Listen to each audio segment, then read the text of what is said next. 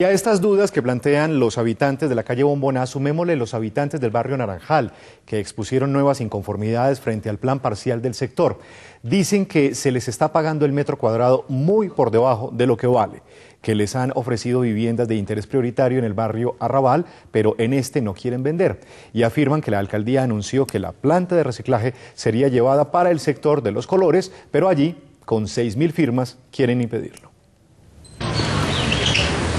Más de dos décadas se lleva pensando en el plan parcial de Naranjal y aún no logra consolidarse. Según la comunidad, son muchas las inconsistencias. Están comprando los terrenos a 1.800.000 el metro cuadrado y están, y están ofreciendo vender a 3 millones y medio los apartamentos, a 4 millones y medio las oficinas, pues el metro cuadrado, y a 6 millones y medio los locales comerciales. Ella dice, la vivienda de interés prioritaria y social va a quedar en Arrabal, y en Arrabal le dice, nosotros no vamos a vender. Y cuando más de la mitad de los dueños, porque en Colombia no se ha acabado la libre empresa, cuando más de la mitad de los dueños dicen, no vendemos, no pueden hacer nada. Incluso aseguran que la alcaldía de Medellín trasladará la planta de reciclaje para el barrio Los Colores, pero allí también se oponen. Tienen pensado y diseñado además la planta de reciclaje en el sector de los colores.